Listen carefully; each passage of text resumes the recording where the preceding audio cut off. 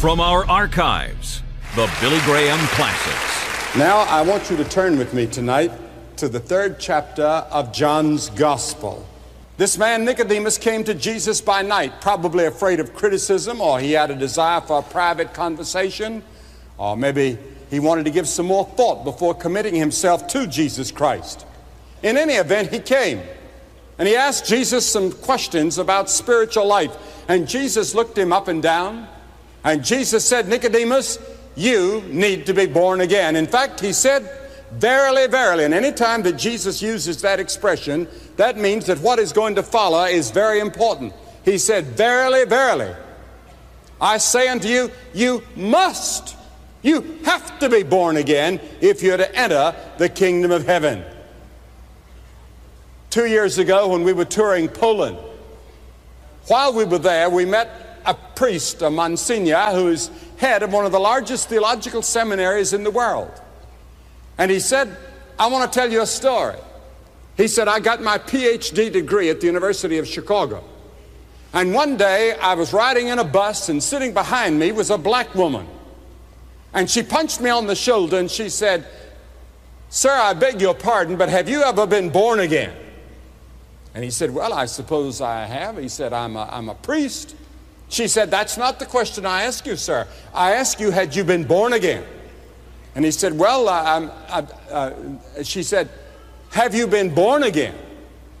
And he said he went back to his rooms at the, at the university and got his Bible down and turned to the third chapter of John and reread this passage. And this passage spoke to him, and he said he got on his knees and he had an experience with Christ that he's never been able to get away from. Now, he said, My theology would tell me that I was probably born again at a different period, but he said, Something happened. You can call it anything you want to commitment, recommitment, conversion, whatever. Something happened to me. Now, the question I want to ask you tonight is Has that ever happened to you? Give it some other title, some other name, if you want. Call it conversion, call it commitment, call it repentance, call it faith, call it whatever. Has it ever happened to you? Many of you have thought a long time about religion and Christianity. Are you committed? Are you committed to Jesus Christ? Jesus said, You must be born again. Start with your hearts. Be born from above. You can be changed. The world could be changed. The country can be changed. A state can be changed. A family can be changed. A person can be changed. You can be changed. Now, Nicodemus must have been stunned when Jesus said that to him, because if Christ had said that to Zacchaeus, who's a tax collector, and they didn't like tax collectors then eh, much more than they do now. But to say it to Nicodemus, one of the great religious leaders of his time, Nicodemus, it says, was a ruler. That meant that he was rich, he was religious, and yet he was searching for reality. How many of you go to church? But you're still searching. There's still an empty place in your heart. And something tells you inside that you're not really right with God. You see, Nicodemus fasted two days a week. Do you know anybody in your church that does that? He spent two hours every day in prayer. How many people do you know that spend two hours every day in prayer? He tithed all his income. Not many people even do that these days. He was a professor at the theological school of theology and he worked hard at religion. But Jesus said, Nicodemus, that's not enough. You must be born again, born from above. Now, why did Jesus say that to Nicodemus? Because he could read the heart of Nicodemus. He saw what was in him. He saw that he had covered himself with religion, but he had not yet found the real thing fellowship with God. What causes all of our troubles in the world? Lying and cheating and hate and prejudice and social inequality and ultimately war. Jesus said, These things which proceed out of the mouth come forth from the heart and they defile the man. He said it's in our heart. He said our hearts need to be changed. Psychologists and sociologists and psychiatrists all recognize there's something wrong with man. There are many words in Scripture to describe it. There, I'll take only three words One is called a transgression. Sin is a transgression of the law, 1 John 3 4. Sin is a transgression of the law. What law? The law of Moses, the Ten Commandments. Have you ever broken one of those commandments? Then you're guilty of all. It's also the breaking of the law of conscience. Have you ever gone against your conscience at any time? Sure, you have. And if you go against your conscience very long, your conscience becomes dull and duller and duller until after a while it's a seared conscience and a dead conscience. And your conscience is no longer a safe guide to go by. It leads you astray because you've gone against it so much. And then there's another one, a commandment, law. Thou shalt love the Lord thy God with all thy heart and soul and strength and mind, and thy neighbor as thyself. Have you always done that? No. Then you're a sinner in need of forgiveness, in need of being born again. And then another word carries with it the idea of missing the mark or coming short of your duty and a failure to do what you ought to do. The Bible says all unrighteousness is sin. All unrighteousness is sin. And yet, before you can get to heaven, you must, you must have righteousness. God says, Be perfect as I'm perfect, holy as I'm holy. Where are you going to get that perfection? You don't have it now. Where are you going to get that holiness? You don't have it now. But you can't get to heaven if you don't. That's why Christ died on the cross. He died on the cross and shed his blood to provide the righteousness for you so that he provides you with the right kind of clothing to go to heaven. And the clothes that you must have are called the clothes of righteousness. And that was provided for you by Christ. And then there's another word iniquity a turning aside from the straight path. Isaiah said, We are like sheep. We've gone astray. We've turned everyone to his own way. Now, here in Idaho, I know that I think this is a sheep state, maybe the sheep state in the United States. I haven't seen any goats around yet. And maybe you have goats too. In New Zealand, they cross the sheep and the goats and they call them geeps. That's a fact. And uh, when we were in New Zealand, I couldn't get over the fact of, of what they were doing. I don't know whether that improves them or destroys them, I don't know. But some of you don't know whether you're a sheep or a goat. Now, you see, Jesus said at the judgment there's going to be the goats on this side and the sheep on this side. And the sheep are going to enter into the kingdom of God. Of course, there he's talking about the judgment of the nations, but it could be applied to individuals. Or it could be that you're a goat. And the goats are going to be cast into outer darkness, the Bible says.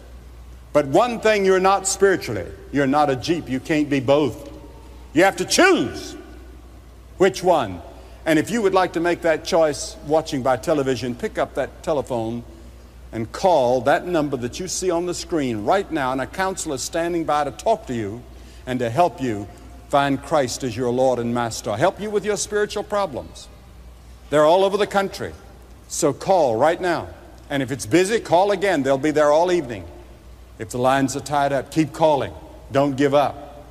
The Bible says, Wherefore, as by one man sin entered into the world, and death by sin, and so death passed upon all men, for all have sinned. Thus, a radical change is needed by every person we need those sins forgiven. We need to be clothed in the righteousness of God for the purpose of finding fulfillment in this life, finding something to commit yourself to. What are you committed to?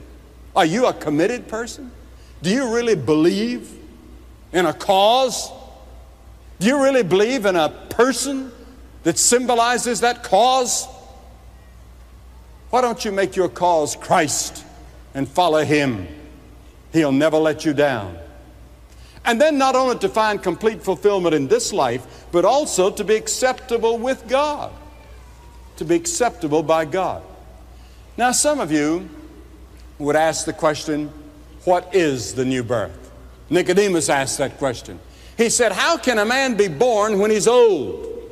You see, Nicodemus, like you and me, he wanted to understand it. He wanted to understand it. Now, I used an illustration years ago that I couldn't understand because I was born and reared on a dairy farm. And I still wake up at night with nightmares doing this way. because I had to get up every morning during high school at 3 o'clock and milk 20 cows. And then when I came home from school, I had to milk those same 20 in the afternoon. My father had a small dairy, had about 60 cows that we milked, and then we would sell the milk door to door, have a little dairy truck that took the milk early in the morning. And that's all I remember almost as I was a boy because we worked hard on that dairy farm. But how can a black cow eat green grass and produce white milk and yellow butter? I don't understand that. Well, I'll tell you what, because I don't understand it, I'm never going to drink milk again. I've got to understand that before I can drink milk. I almost quit milk when the cow stepped in the bucket and I just kept on milking. I don't understand color television. Do you know that I am so old that I can remember when there was no television? Now, I tell that to one of my grandchildren, they look at me as though I came out of the ark. I can remember when there were, we didn't have any radio. In fact, I remember the first station that came on there was KDKA in Pittsburgh, and my dad had an old crystal set, and he said, I think we've got it, and got earphones, and we'd all stand around to try to listen. The only station on there in the United States. That's how old I am. Well, you can't imagine a world without paved highways. You ought to have seen the two ruts in front of our house that went clear to town. They were only two paved streets in our whole town.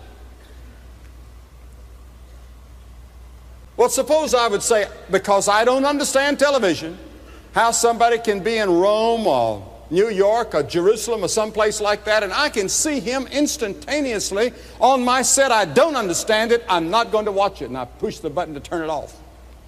I've got to understand it first. Why, you'd say you're crazy. Well, of course, I don't understand these computers. I don't understand all these things that they're developing. This whole scientific age has passed me by. We didn't study that in the school I went to.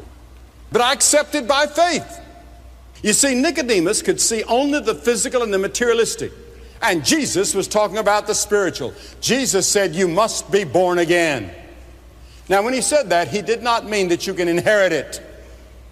You cannot inherit it. Which were born not of blood, nor of the will of the flesh, nor of the will of man, but of God. Your father and mother can be the greatest born again Christians in the world, but that doesn't make you a born again Christian. I can be born in a garage, but that doesn't make me a motor car. And there are many people that have the idea that because they're born in a Christian home, that they're automatically Christians. Well, you're not. And you cannot work your way alone. Not by works of righteousness which we've done, but according to His mercy He saved us by the washing of regeneration and the renewing of the Holy Spirit.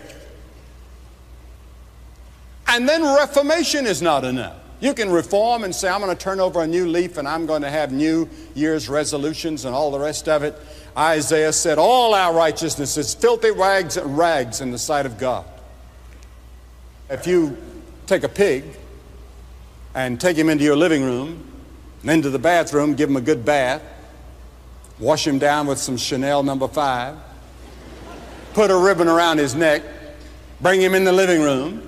You say, Now I've got a new pig.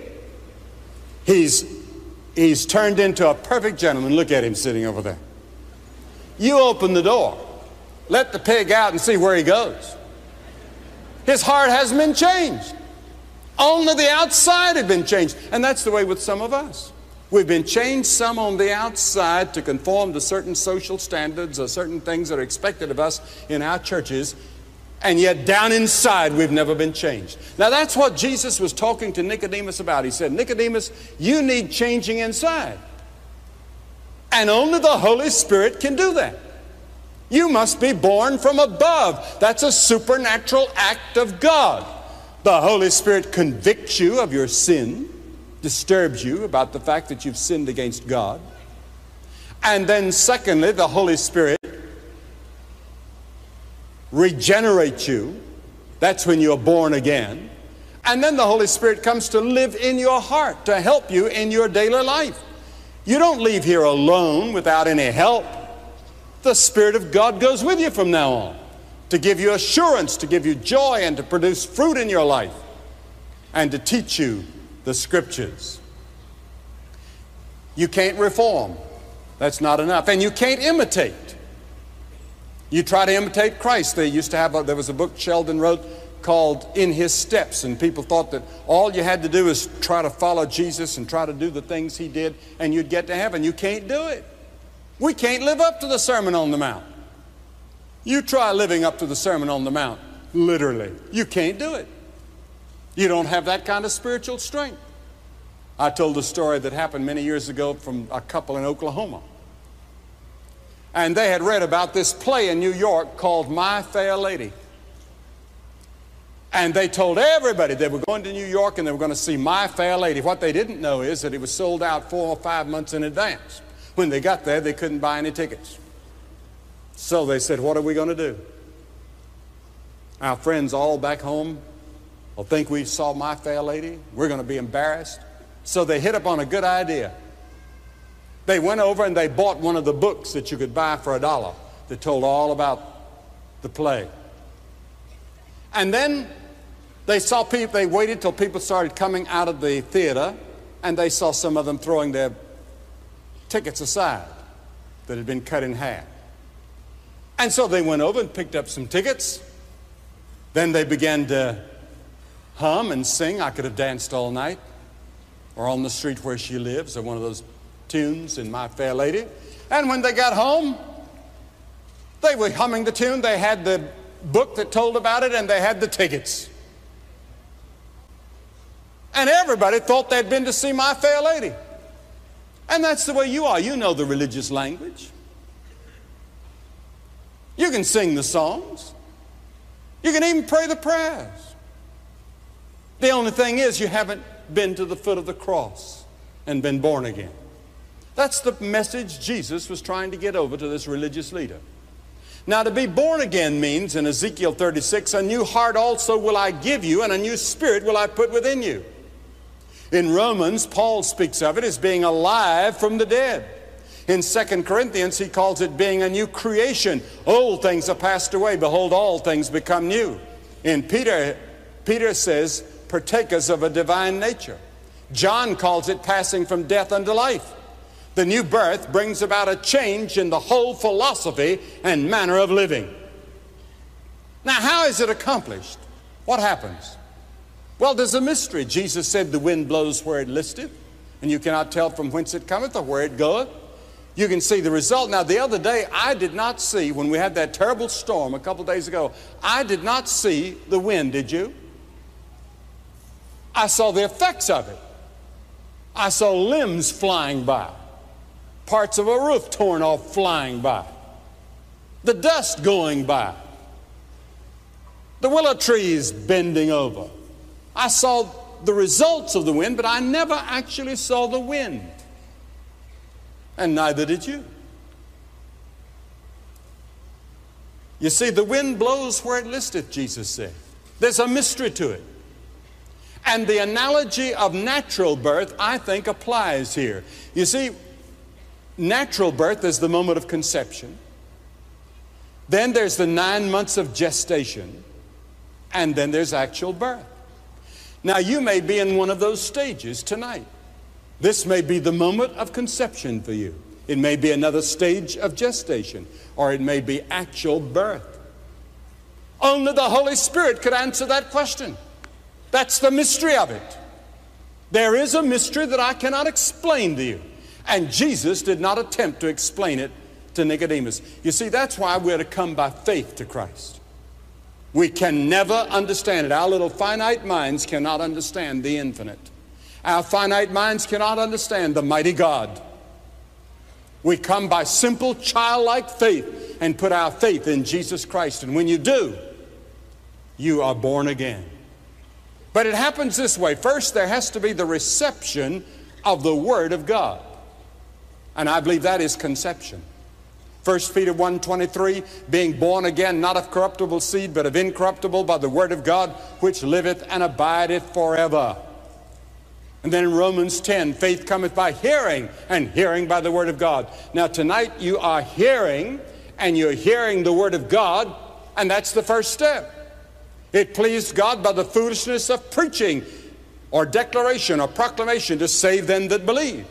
It sounds foolish that men can stand up and use words out of a Bible, and that has power to penetrate your heart and change your life.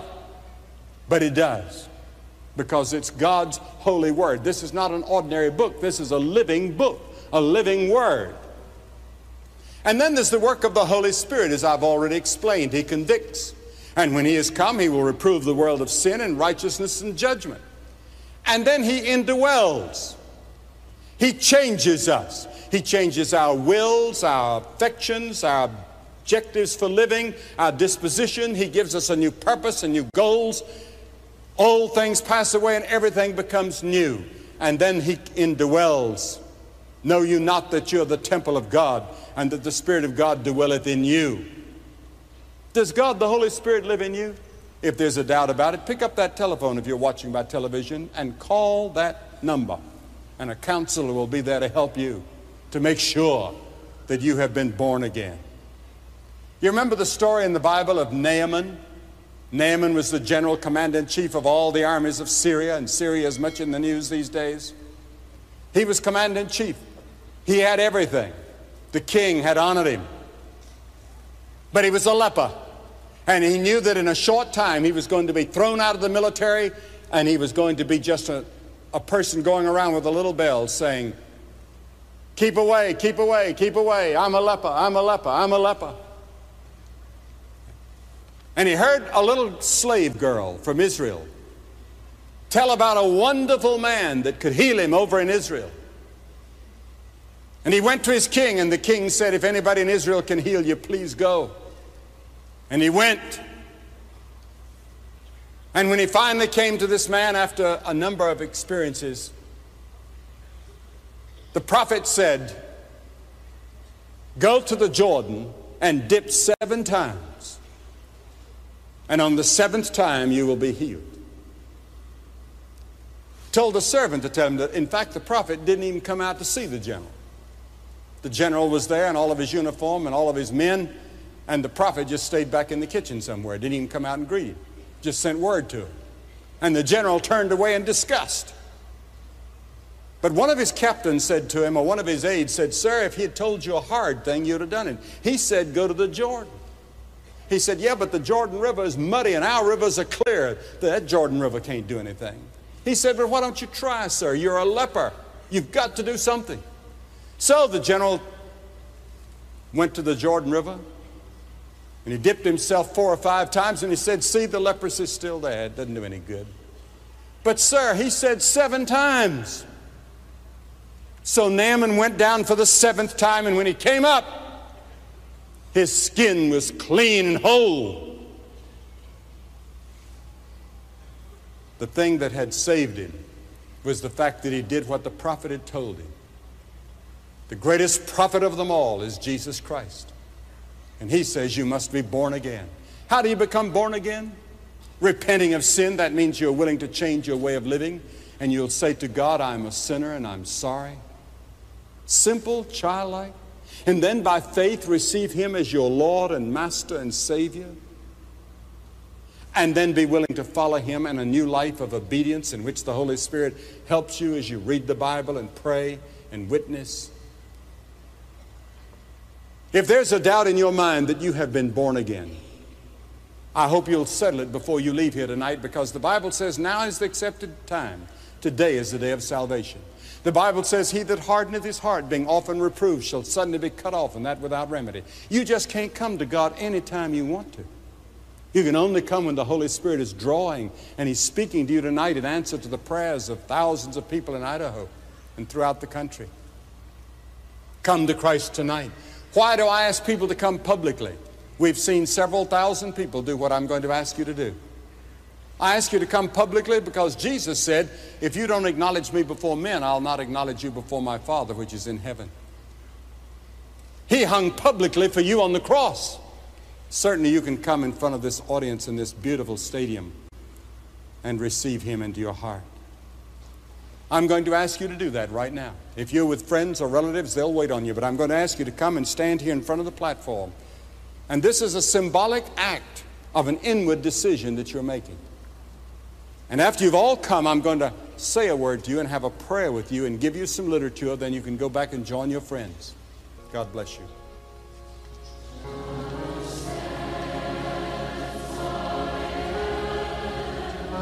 It's wonderful to know that tonight can be a night of new beginning for you. You say, well, how? Take a moment to call that number on your screen or to write to Billy Graham tonight or this week and let him know about your desire and we'll send you some helps through the mails that will encourage you and help you make your decision for Jesus Christ. If you just prayed that prayer uh, with my Father, or if you have any questions about a relationship with Jesus Christ, I would just call that number that is on the screen. There'll be someone there to talk with you, pray with you, and answer those questions. And remember, God loves you. If you would like to commit your life to Jesus Christ, please call us right now toll free at 1 877 772 4559. That's 1 877 772 4559 or you can write to us at Billy Graham, 1 Billy Graham Parkway, Department C, Charlotte, North Carolina 28201. Or you can contact us on the web 24 7 at peacewithgod.tv. We'll get the same helps to you that we give to everyone who responds at the invitation. On behalf of Franklin Graham and the Billy Graham Evangelistic Association, thank you for watching and thank you for your prayers.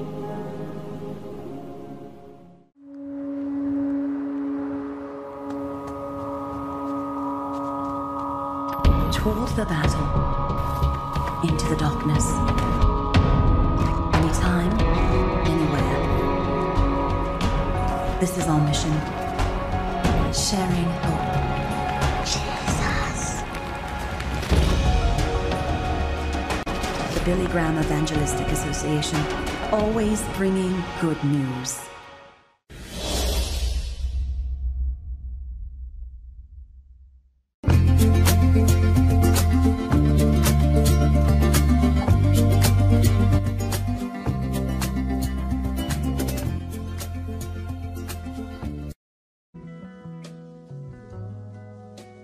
From our archives, the Billy Graham Classics.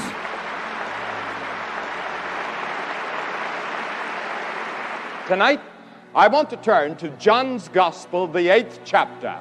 The eighth chapter of John's Gospel. And this passage of Scripture, the 32nd verse, the 32nd verse of the eighth chapter of John's Gospel. And ye shall know the truth, and the truth shall make you free. These are the words of our Lord Jesus Christ. He, he's having a debate with some of the religious leaders of his day. And he said, Ye shall know the truth. Now, that word shall could be translated must. You must know the truth if you're to be free. Tonight, I want to talk about truth and freedom. We hear a great deal about both today. You know, there's an old Scottish oath upon which our American oath is based, and it reads this way I pledge before Almighty God, before whom I will give an answer on the day of judgment, to tell the truth, the whole truth, and nothing but the truth. Jesus said, Ye shall know the truth, and the truth shall make you free.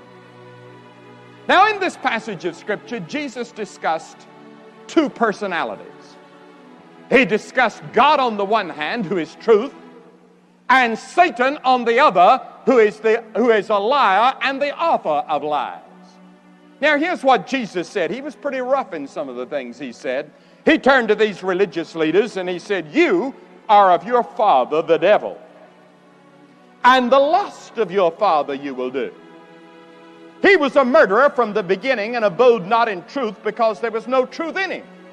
When he speaketh a lie, he speaketh of his own, for he's a liar and the father of lies. Jesus said that there's the lie and the truth. And in Second Thessalonians, the second chapter, we are told that in the latter days of this age, there will be a system called the lie. And a great delusion will sweep over the people of that generation.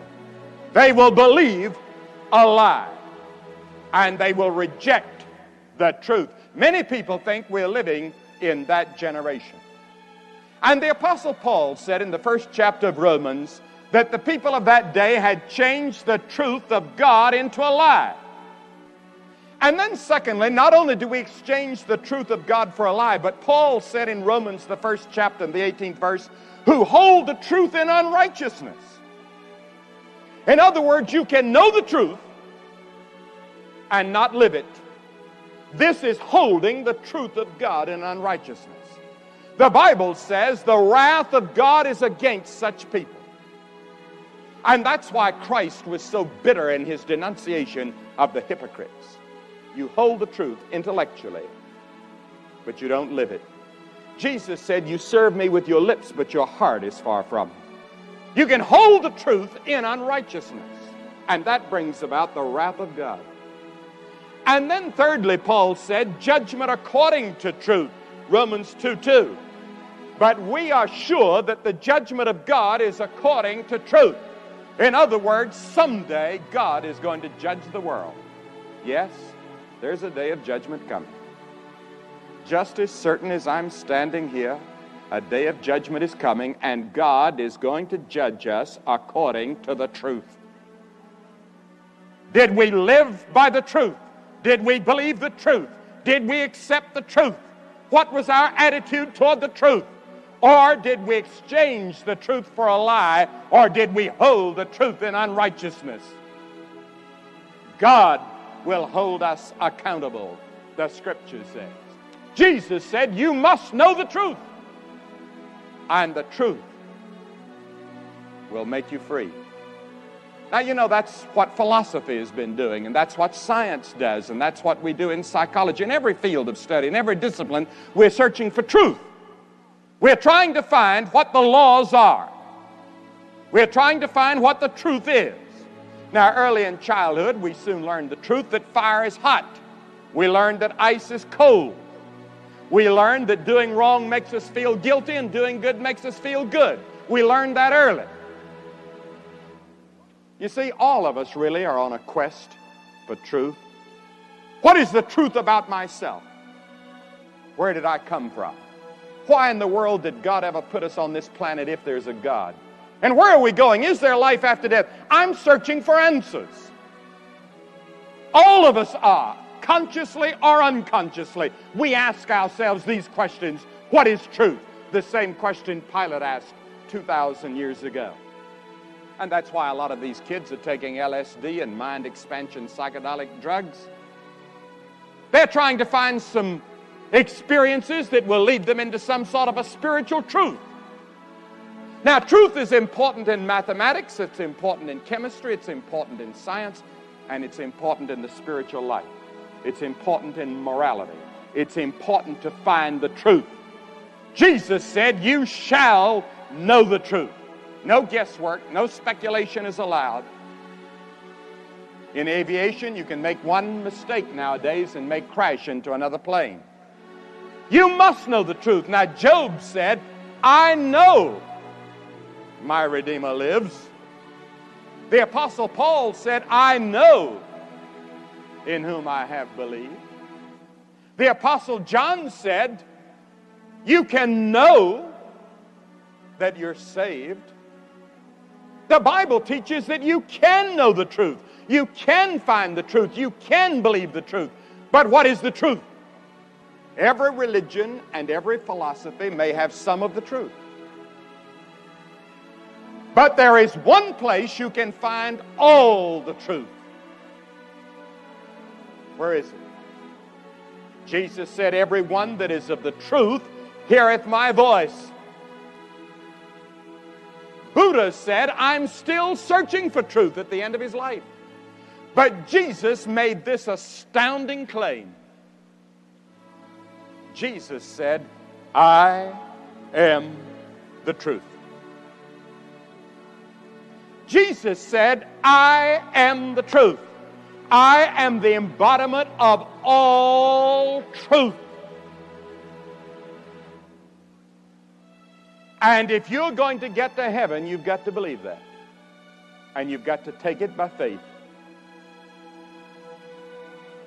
Well, you say anybody that would come along and say, I'm the embodiment of all truth,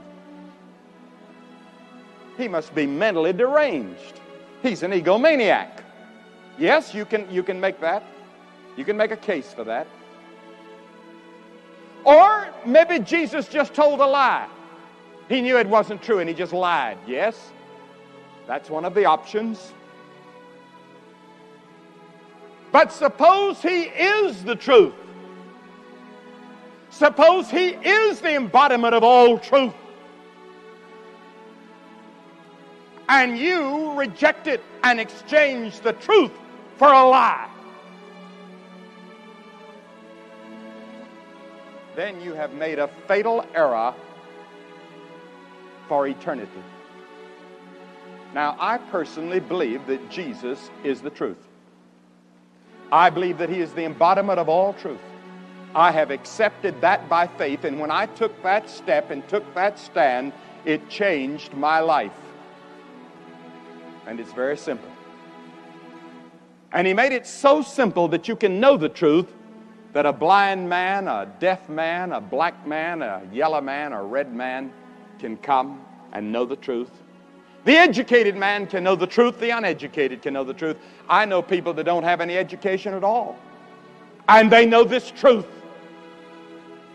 And it gives them a satisfaction and a joy. And I know professors at the great universities, and I know some of the great scientists, they have come and accepted this as the truth and bowed in humility before the Christ back of science. And it's changed their lives. Truth the profoundest truth in simplicity so that anybody can come and anybody can believe, even children. Whittier once said, We search the world for truth. We call the good and the pure and the beautiful from graven stone and written scroll, from all the plowed fields of the soul, and weary seekers of the best, we come back laden from the quest to find that all the stage is set in the book our mothers read. It's here. Jesus Christ, the story of Christ, He is the truth. And Jesus said this in that same chapter, in the 24th verse. He said, If ye believe not, listen to this, if you believe not that I am He, you will die in your sins. If you believe not that I am the embodiment of all truth, you're going to die in your sin. You must come and believe and accept and commit. Yes, Christ claimed to be ultimate truth. And Jesus told the truth. He told the truth about sin. Where does the lust and the greed and the pride and the hate and the jealousy and the fighting come from? Why, does, why do people hate each other? Why do they fight and kill? And every generation has a war. We've had 55 wars since World War II. Why, why all of this throughout history? The Bible tells us man has a disease of the heart called sin. For from within, out of the heart of men, proceed evil thoughts and adulteries and fornications and murders and thefts and covetousness and wickedness and deceit and blasphemy and pride. All of these things come from within and defile a man. We're suffering from only one disease in the world. Our problem is not a race problem, really. Our problem is not a poverty problem. Our problem is not a war problem. Our problem is a heart problem. We need to get the heart changed, the heart transformed. That's why Jesus said, You must be born again. You must have a new nature, a new heart that will be dominated by love. Ah, but we go out and say we ought to love each other. and we, so, and we soon find that we don't have the capacity to love each other, where are we going to get it? We get it from Jesus. You see, the Spirit of God comes into our heart the moment we receive Christ, and He begins to produce in your heart love and joy and peace and patience and temperance. All of these fruits of the Spirit are produced supernaturally by the Holy Spirit when you receive Christ. He told the truth about what is wrong with the world. And then he told the truth about our social responsibility, our responsibility to our fellow man. In the 25th chapter of Matthew, beginning at verse 35, you'll find it. People were hungry, they were sick, they were tired, they were cold, and they were visited in prison. They were visited and they were helped. And at the judgment, Jesus commended them. They said, But Lord, we didn't know that we visited you. We didn't know that we fed you. We didn't know that we did that for you. Jesus said, If you did it unto the least of these, you've done it unto me. And every time that you give of your time and your energy and your money to help those in need, you're helping Jesus. You're giving to Him. And then He told the truth about judgment. He warned us to flee the wrath of God. Every idle word that men shall speak, they will give an account in the day of judgment, He said. There is a judgment coming. He told the truth about repentance. He said, Except you repent, you shall perish. You say, But how do I repent? You say, Oh God, I've sinned. I'm willing to change my way of living. I'm willing to live in a new dimension of life. I'm willing to follow you and serve you no matter what the cost. That's repentance. And Jesus said, If you don't repent, you're going to perish. He told the truth about that. He told the truth about conversion. He said, Except ye be converted and become as little children, you cannot enter the kingdom of heaven. Be converted. We're frightened of that word in religion. We use it in everything else, but not in religion. Young people want an experience. They want something that means something. They have their happenings and they want to do their thing and they want to take their drug, they want their kicks. And in the church, we've stifled out any kind of religious experience. Jesus said you need to be converted. I can remember the day I was converted. I had an experience with God. It wasn't an emotional experience with me. Some people it is. Nothing wrong with emotion. We've got certainly emotional intellectualism today on campus. I see these intellects on campus on television, and boy, they're shouting it up pretty loud for their cause and what they believe. No, we allow emotion for everything except Christ. If anybody sheds a tear on religion, they say too much emotion. And that's one of the devil's lies and the devil's tricks, so that we've lost all feeling in our faith and all joy in our faith and all the excitement and the thrill that these early Christians had. Jesus said you need to be converted. Now, the word conversion simply means to change, turn around. You're going in one direction on the broad road that leads to destruction. Turn around and go in the right direction. Go the narrow road that leads to eternal life. That's what it means conversion to change, to turn around. Has that happened to you? Have you changed your way of living? Have you had an experience with Christ? Do you know Him personally? Ye shall know the truth, and the truth shall make you free. Now I know that there are many people that think they're free already and they don't know Christ. They think they know how to live. The Bible says there is a way, there's a way outside of Christ that seems right unto man. It seems the right thing. But the end is death and judgment. I have a little boy, and when he was much smaller, three years of age, we were loaned a boat down in Florida. And uh, we were going down the river. My friend Lee Fisher was back there trying to get the fishing gear ready, and I was running the boat. And my little boy Ned said, Daddy, I want to run this boat. And I said, No, I don't think you know how to run it. Oh, yes, I know exactly how to do it, he said. And he pushed my hands out of the way, so I let him have the wheels. and he was heading right toward the rocks. You see, we all say, Lord, we know how to run our lives. Don't you interfere. We're, we're going to be all right. We can handle it. Nothing we can't handle. But Jesus warns us that you're heading for the rocks. You're in trouble. Emptiness, neurosis, complexes of various sorts set in, and ultimately the judgment. Repent, be converted while you can. Now is the accepted time. Today is the day of salvation. Now, what does the truth do? It sets you free. Ye shall know the truth, and the truth shall set you free from what? First, it sets you free. Christ sets you free from the penalty of sin. Yes, there's a penalty to sin. Now, we're all sinners. Every one of us a sinner, and we're all under the penalty of sin, which is death. The wages of sin is death, the Bible says. Now, death carries with it the idea of separation from God in this life and in the life to come. The rich young ruler came to Jesus and he said, What must I do to inherit eternal life? He wanted life here and he wanted life to come because he felt the deadness of his spirit and the deadness of his soul. But he wasn't willing to pay the price. There's a price if you come to Christ. The rich young ruler tried to bargain with Jesus. He wanted Jesus to lower the flag. He wanted Jesus to change the rules for him so he could get into the kingdom. But Jesus will never lower the flag. He'll never compromise. He'll never change the rules. You've got to come to Christ just like people did 2,000 years ago if you're ever to get to heaven. We live in sophisticated America.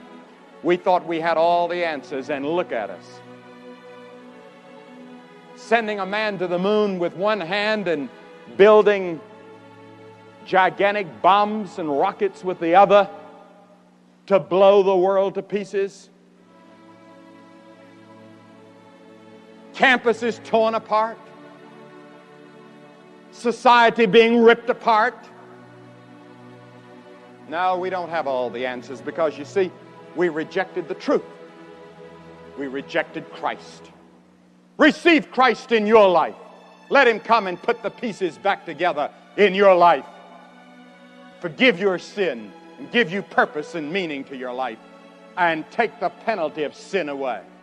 There is therefore now no judgment to them that are in Christ. He removes the penalty. Secondly, he, set you, he can set you free from the power of sin. He said, Whosoever committed sin is the servant of sin in this chapter. But when you receive Christ, this power of sin to dominate your life is broken. Sin shall no longer dominate in your life, said Paul to the Romans. Sin shall no longer have dominion over you. You can reckon yourself to be dead to sin. So that sin may be in your life. You may commit a sin, but it doesn't dominate you. You don't make sin a practice in your life. You have power over sin. The Spirit of God living in you through a new nature that God gives you. And then, thirdly, he sets us free ultimately from the very presence of sin. You read the Revelation, the 21st chapter and the 22nd chapter, and you will see the most glorious description of heaven and the future world. And then it says this it says, on the outside of this new world, this utopia that is called heaven, that God is building now for those that trust Him, for without are the sorcerers, the whoremongers, the murderers, the idolaters, and whosoever loveth and maketh a lie. All liars, all people that live a lie will be on the outside, he said, excluded and banished from the presence of God. Jesus said, I am the truth. Ye shall know the truth, and the truth shall set you free. There was an ad in the New York Times today, a whole page that said, Come to life. Great big boxcar letters, come to life. I'm asking you tonight to come to life. Come to the truth, to the source of life, to Jesus Christ, the Son of God. someday we'll be removed from the very presence of sin and the devil and all lies. We shall overcome someday. Till then, we can have God's life right here on this earth. We can have a little bit of heaven. We can be set free from the bondage of sin and slavery and the devil right now. Christ can set you free. I'm asking you tonight by faith to receive Him, to receive the truth. Notice I said by faith. You cannot come with your mind alone because your mind was affected by sin. You have to come like a little child, except you become his children and be converted, said Jesus. You have to come like a little child by simple childlike faith and receiving. And if you will, he comes into your heart, gives you a new nature, and you can go out and live a new life. Now, it's hard and it's tough and it's rough to follow Christ. I don't want you to come under any false illusion. But when you make that commitment, you don't go back into the world and back to your house and back to your neighborhood to live the Christian life alone. He goes with you. I'm going to ask you to come tonight and receive Him openly and publicly. Every person that He called in the New Testament, He called publicly. There was a reason for it. He said, If you're not willing to acknowledge me before men, I'll not acknowledge you before my Father which is in heaven. Come publicly. I'm going to ask you from all over this stadium to get up out of your seat, hundreds of you, and come and stand in front of this platform quietly and reverently and say tonight, I want to receive Christ. I want the truth. I want the truth to dominate my life. But you get up and come right now from all over men, women, young people. God has spoken to you tonight. You need Christ. You come. We're going to wait.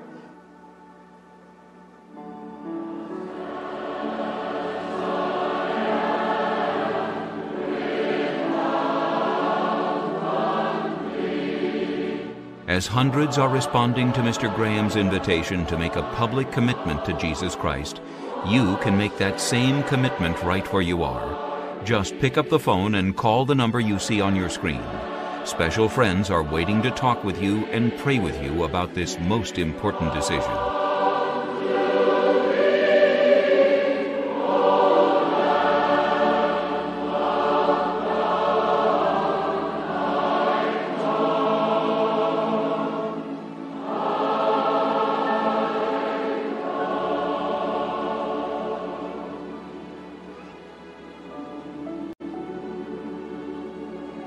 I do not know whether you can see this great scene here at the garden in New York or not, but hundreds of people are coming from all over this great amphitheater to receive Christ as the way and the truth and the life in their hearts.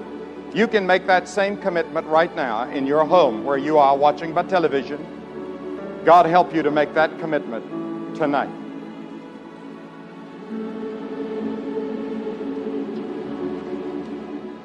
If you just prayed that prayer uh, with my Father, or if you have any questions about a relationship with Jesus Christ, I would just call that number that is on the screen. There'll be someone there to talk with you, pray with you, and answer those questions. And remember, God loves you. If you would like to commit your life to Jesus Christ, please call us right now toll free at 1 877 772 4559. That's 1 877 772 4559. Or you can write to us at Billy Graham, 1 Billy Graham Parkway, Department C, Charlotte, North Carolina 28201. Or you can contact us on the web 24 7 at peacewithgod.tv. We'll get the same helps to you that we give to everyone who responds